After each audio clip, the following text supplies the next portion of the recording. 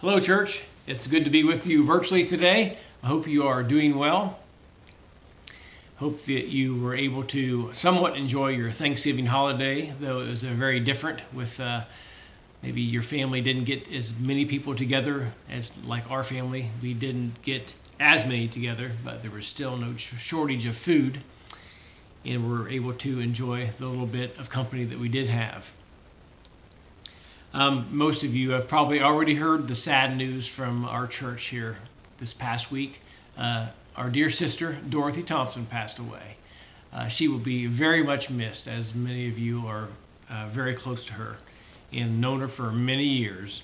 When I walked into the church building uh, 20 years ago, when the church was on Fifth Street, uh, she was one of the first people I saw. She was handing out church bulletins and uh, she was a, a, sweet lady then and, and always was. Uh, so I will miss her as well.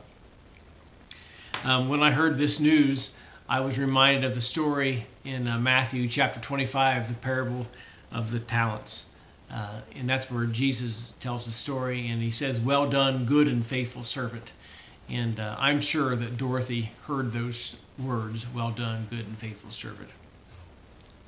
I'd like to do a quick paraphrase on this parable of the talents because it's so applicable to uh, to us today.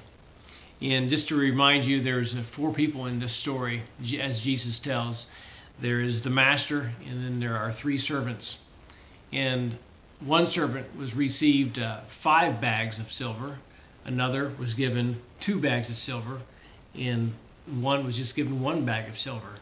And the master was going away, and he said, Invest this, and I will return again someday and see what you have.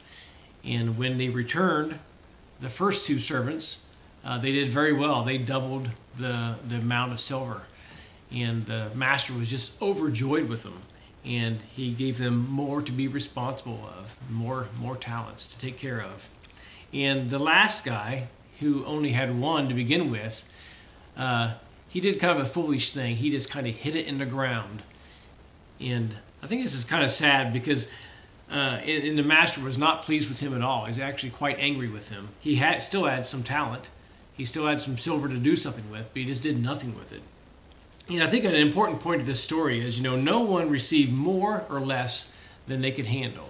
No one received more or less than they can handle. And that's very true in our lives today.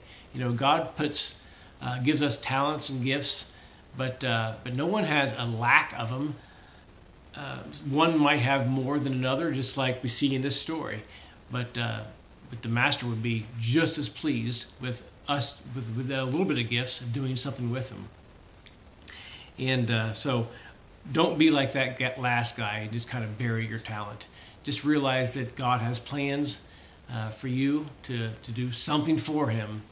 Uh, I think about the Christmas season coming up, and think about uh, all the times we hear the word Jesus in, in, just regular secular music. This is something that we don't normally hear the rest of the year.